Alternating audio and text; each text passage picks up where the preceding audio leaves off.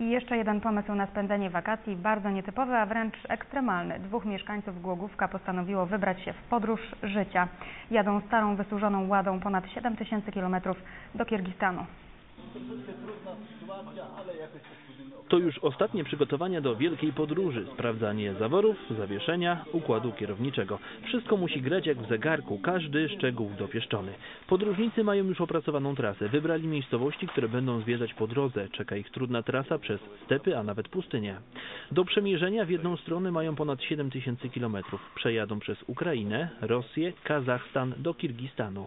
Łącznie kilometrów według moich takich skromnych obliczeń jest około e, 14 ty- tysięcy tam i z powrotem. Samo przygotowanie samochodu zajęło kilka miesięcy. Nad całością czuwali mechanicy, specjaliści od łady. na temperaturę silnika, na hamulce, na zawieszenie. To jest takie w zasadzie najważniejsze przy takich dużych wyprawach.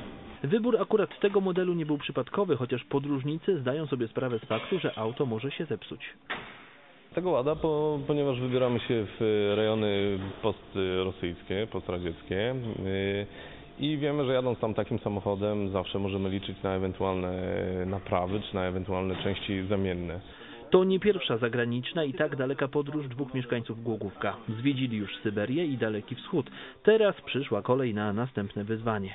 Początkowo była to zabawa, teraz y, jest to dla nas wielka pasja, wręcz konieczność podróżowania. Nasze życie właściwie kręci się wokół tych podróży. Uczestnicy wyprawy wyjadą w poniedziałek, przyjadą do Polski z powrotem za około dwa miesiące.